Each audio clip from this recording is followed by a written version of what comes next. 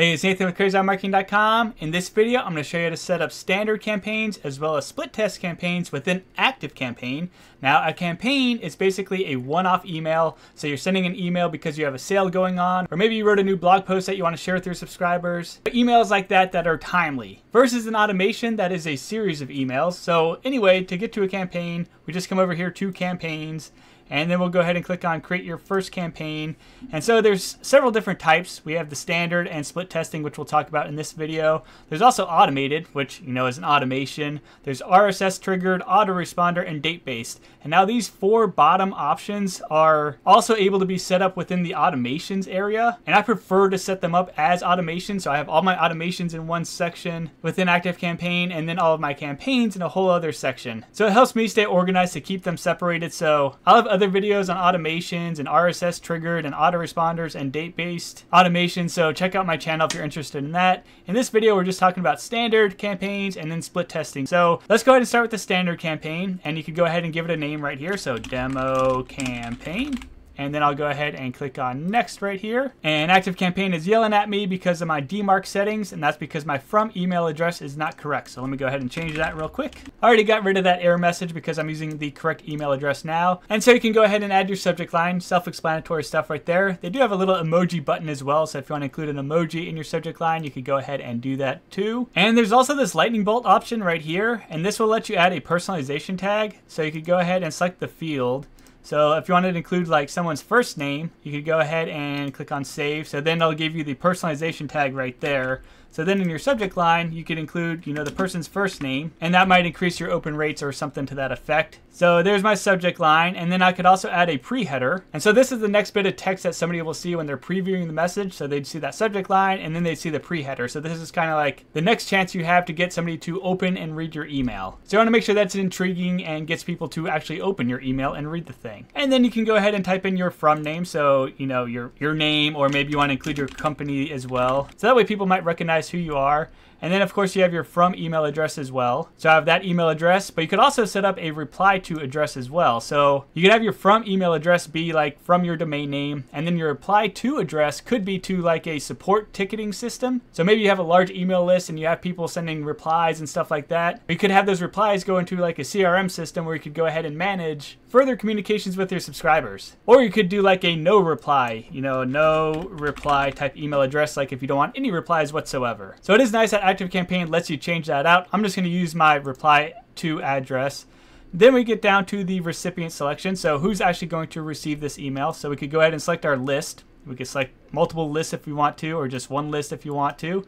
And then additionally, you could go ahead and select a segment of the list as well. So if you have list segments created, you could click this option and then you could select what segment you want to send it to. So maybe I want to send it to my buyers, on both my master contact list and my Crazy Eye Marketing list, or my US buyers or really active subscribers, and then it would go to those people. Or I could go ahead and create a brand new segment from here as well. And I have a whole other video on creating segments. If you're interested in that, please check out my channel. And one other thing that's nice with Active Campaign, it does tell you how many contacts your email will go to. So if you start clicking here and you select lists and you select segments, and you think it's going to 10,000 people, but maybe you set up your segment incorrectly and you notice it's only going to go to one person, well, at least Active Campaign gives you a heads up of how many people your email would be going to. So this is nice to go ahead and double check to make sure that you're sending it to as many people as you think you are. So anyway, I'm going to go ahead and not send it to a segment. We'll go ahead and turn that off.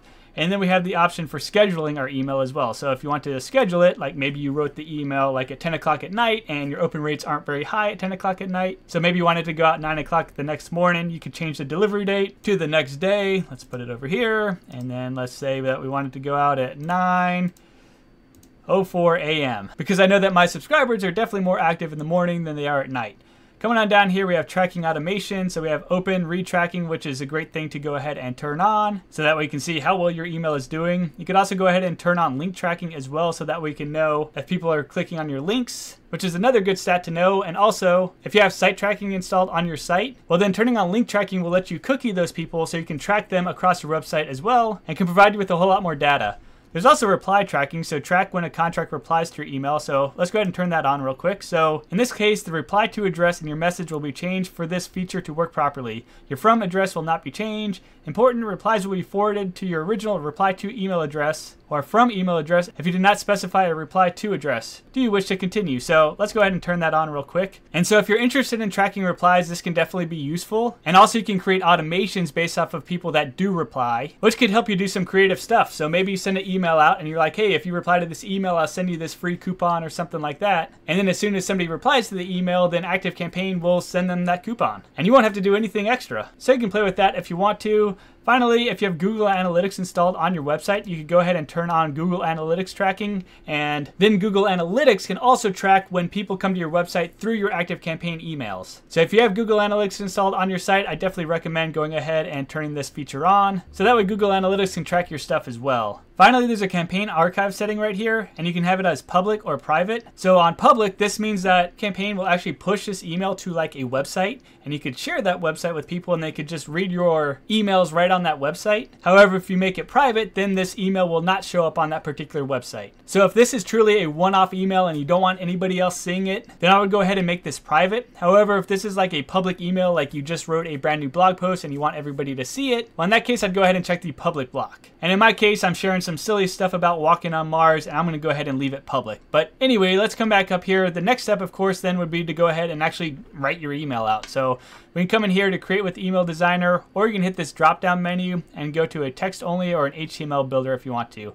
I'm going to do the email designer and I have a video all about how to use the email designer. So if you're interested, please check out my YouTube channel. But I'm going to go ahead and select this template real quick. And then I could go ahead and write my email and all that type of stuff. I'm not going to do that in this video. We're going to go ahead and click on next. And then once I'm all ready to send my email, I just go ahead and click on send now. Now, it looks like my schedule thing stopped working. So you might want to double check your schedule to make sure it's doing what you think it's supposed to. So let's come back in here, set it to 904. Maybe I didn't click save last time. So then I could go ahead and click on finish and then send. So anyway, that's how you go ahead and do a standard campaign. Now let's go ahead and do a split test campaign real quick. It'll take a little less time because I want to go through every single detail. So let's come to split testing here. And so here we can go ahead and compare multiple emails to test which one works best. We could test email subjects and or from information or email subjects from information and email content. Let's do the whole shebang and click on next right here. Alrighty, so we have our first email right here that we have written up and I could come in here and change my subject line and pre-header and I could change my email design and all the stuff we could do in the standard campaign so I'm not going to cover that right now.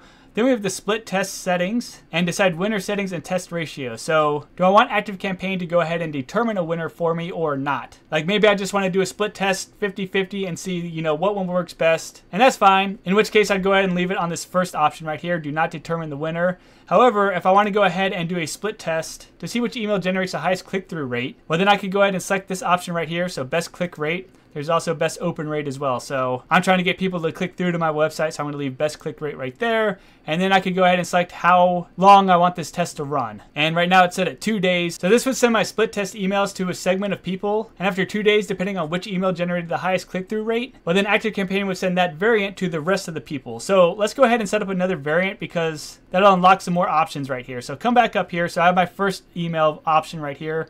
And let's go ahead and add a test. So we'll click the plus button. So here's test two. And so depending on what you want to go ahead and split test, maybe you want to split test your subject line or your pre-header, your from name or so on. So maybe I want to try it without the first name in there.